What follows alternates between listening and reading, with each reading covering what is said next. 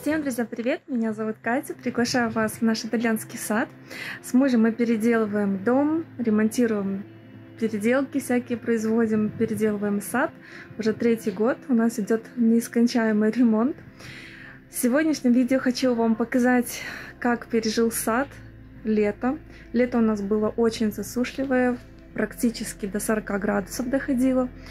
А, растения пережили это лето засушливое по-разному, поэтому хочу провести вас по саду, пройдемся, посмотрим, что выжило, что хорошо цвело, какие переделки в этом саду я хочу сделать еще раз. Посмотрим клумбы наши. В общем, приглашаю приятного просмотра. Наш сад можно разделить на три области – Область номер один – это вот эта часть возле входной группы, возле гаража. Мы здесь занимаемся переделкой, сносили здесь пристройку. И вот эту часть, она считается у нас как бы парадной. Что могу сказать? Что меня порадовало? Какие растения? Порадовали у меня вот эта вот клумба, которая состоит из вербены, осоки и также хеби. Очень красиво все здесь цвело, ничего не погорело. Вот это мне, кстати, очень топ растения. Здесь у меня, кстати, сидит еще вот такой вот очиток. Тундерхед. Сортовой очиток красивый. И уже начинает цветение. Затем вот эта часть клумбы. Здесь высажена, высажен котовник, который меня все лето радовал. Вот я его постригла. Смотрите, какая пышная у него сейчас крона здесь образовалась. Скоро будет еще одна волна цветения. Еще один куст э, непеты тоже здесь сидит, уже цветет. Повторно его стригла. Очень стабильное растение. Советую тем, кто э, решит сажать на палящее солнце. Выдерживает, лист не горит и цветет практически постоянно. Здесь у меня еще очиток есть, красавец. Вот такой вот у меня сегодня из-за солнца не ловит кадр. Тоже очень красивое растение. Сажаю везде по саду. Клумба выглядит вполне прилично для солнечной стороны. Здесь у нас постоянно солнце, было. Каждый день солнце палило до 40 градусов. Клумба выглядит очень даже неплохо. Также на этой клумбе у меня был эксперимент прошлой осенью. Я посадила в этот угол и еще во второй симметрично дербенник иволистный Роберт. За год он у меня совсем немножко подрос и буквально чуть-чуть цвел. Видимо, ему слишком здесь зажарко. Я вот думаю, скорее всего, найти ему другое место в саду, более такое закрытое от солнца, потому что на солнце очень сильно горит. Хоть я и поливала, но эксперимент, я думаю, не удался. В этом месте он лучше выглядит, а здесь он вообще прикрыт и, в общем, такой невзрачный. Еще один очиток. Такой красавчик, подпишу название. Выглядит тоже великолепно. Могу посоветовать растения для солнца. Это очитки, котовник, такие всякие злаковые. Очень хорошо держатся. У нас вот по соседству здесь стройка идет, можно услышать шумы. Также здесь у меня а, такой вот коврик из красивый Magic Carpet. Это тимьян стелющийся. Тоже неплохо себя показал, но местами, конечно, выпал. Затем махинация очень плохо, конечно, в этом году у меня цвела. Высажены семена, смотрите, гвоздики тоже зацвела. Ну, очитки, как, как всегда, прекрасны, красивые, расплодились. Видите, у нас похолодало, и сразу барбарис красным цветом показался. Это Росглоу, а второй у нас это Арликин. Также хорошо выглядят кочечки. Тоже подпишу. Забываю уже. Вот какой красивый орликин, смотрите. Прелестное растение, обожаю все виды барбариса. Также на этой клумбе у меня росли две, вот здесь вот два кустика э, не а как же называется, лоропиталом, да, лоропиталом. Плохо он себя здесь чувствует. Один высох полностью. Я вот его убрала, тоже выпад был. Ну, один, видите, пытается цвести каким-то образом. Не знаю, посмотрим. Может быть, придется тоже его отсюда убрать. Здесь у меня под клеткой от кота защита. Это а, этот котовник. Сорт Cats Pajamas. Пытаюсь развести. Надеюсь, получится. Сильно от солнца даже пожгло, видите, хвою. Можжев... Э, этого туи Видите, вся она такая оранжевая стала. Но я со временем думаю, что она отрастет, я ее еще раз постригу. Это я веду в такое дерево неваки, чтобы такими шариками выстригать. Еще одна зона сада у нас находится за домом. Там у нас также происходят переделки. Вот как выглядят клумба, которую я тоже хочу переделать. Летом у нас жара была до 38 градусов. Клумба это страдала. Находится под оливковым деревом. Конечно, все силы уходят на оливку, я думаю. Растения здесь очень плохо себя показали. В, практически, видите, выпало растение. Выглядело очень красиво. Мальнянка называется. Красиво выглядела, цвела, но, видите, выпрела. Затем лаванда хорошо себя показала. Советую тоже лаванду. Также неплохо, кстати, почему-то я ожидала, что хуже будет. Это э, такая вот от соседки тетя начеренкованная хризантема. Тоже неплохо себя стойко показала. Но пострадала на этой клумбе это спирея Gold Princess. Видите, листики у нее просто все практически посохли. Буду пересаживать. Мне нравится это место. Сразу сделала себе заметочку. Также посохла другая спирея Ватерер. Практически полностью листики у нее посохли, ветки вообще засохли. Думаю, она вообще практически полумертвая, но пускает новые листики. Думаю, что отстричь ее, и она может еще выживет. Рядом котовник, ему ни почем. Спирея полностью высохла. Также в нашем климате жарком не подошло растение пузыреплодник. Darts Gold. Это вы видите вообще листья отросшие, новые. До этого были просто все посохли, и они просто отпали. Вот так вот они выглядят. Полностью куст весь был облиственен. То есть все листья, все опали. Поэтому растение это очень страдает. Розы здесь Париж. Тоже все листья сбросила. Это вот новый, новый сейчас вот у нее глоток свежести, она начинает обрастать. Дерин, элегантиссимо.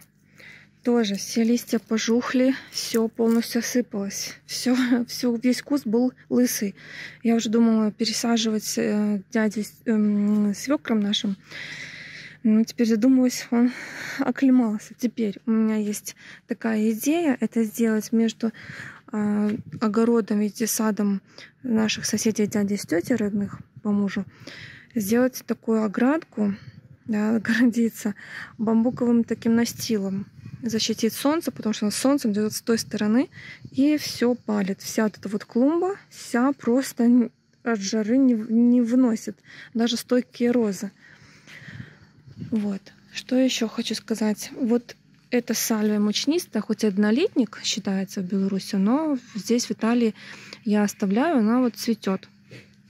Стойко себя показала, только листья немножко опускаются в, в жару. Вот, листья вот так выглядят. Розы тоже. А, Pink Cloud. Тоже она себя очень плохо себя чувствовала. И э, теперь опять нарастает листва. Вот. У нас розы тоже очень плохо себя чувствуют, оказывается, на жаре.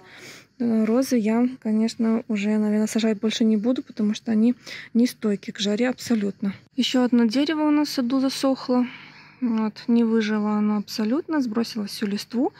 Тоже пойдет на удаление. В итоге эту клумбу я хочу переделать. Вот как только опустится еще больше температура, не будет таких угроз уже сильных жарких температур, будем с вами здесь копаться, переделывать. Будем пересаживать растения. Он бежит мой котик бежит на, на голос. Будем с вами здесь работать, будет у нас здесь работенка. Если в этом году сможем, то докупим, докупим здесь бордюр, надо тоже доделать. Будет здесь тоже КМПМ с вами будем работать. Лето у нас было практически вообще засушливо настолько, что листья опадали даже таких растений, как у нас есть одно дерево на передней клумбе. Когда уедут рабочие строители, я хочу туда вас пригласить. А, там, я так называю, японский садик, уголок, показать, что там у нас растет. Вот, и показать одну пропажу, одну такую одно расстройство. Одно дерево полностью практически высохло, а, подсохла листва. И я думаю, что придется, наверное, с ним распрощаться, если осенью листья не отрастут. В общем, подождем немножко еще пару часиков, я вас заведу, покажу туда. А еще, друзья, куча тут у меня начеренкованных растений. Есть еще в горшках, ждущих своих мест посадочных для того, чтобы разместить на клумбах. В общем, будем с вами сажать еще. Куча работы предстоит. Покажу вам вот второе цветение гортензии, которую мне соседка дарила. Спасала листья от э, плотиного клеща. Победила. И она дала мне еще второе цветение. Здесь у нас и хризантемы разных видов цветов. И маленбеки тоже нужно пристроить. Еще также есть два кустика или три. Э, это алисума. Здесь бегошки. И вот такая красивая бегония, смотрите, розочка цветет новый житель. Это пенисетум рубрум. Покупали в Икее за 5 евро. Вот. И это однолетник. Это уже не будем сажать. В общем, работы предстоит много. Но вот красота осенняя вот так вот, друзья, выглядит. Эту бегонию просто обожаю. Второй год покупаю. Вот она такая вот розочкой. Вообще прелестная красавица. И последняя, друзья, зона в саду. Это японский сад. У нас следующая неделя вся будет в дождях. Единственный день солнечный. Хотела показать вам, как выглядит в сентябре этот уголок сада. Можно заметить сразу выпад. Это огромное дерево шариком выстриженное. Это сорт а, дерева, вид вернее, а, калина обыкновенная. Очень быстро насеивается, легко вырастить. В общем, такое сорное растение но со всех сторон буквально поразился либо плещом, либо сгорел на солнце. Надеюсь, придет, ну, спасем его. В общем, не придется его выбрасывать, будем наблюдать. Вот. Здесь растут самые такие устойчивые растения к солнцу, можно брать на заметку. Это плектрантус. Выглядит вообще очень классно. Обожаю это растение. Как-то зачеренковал однажды.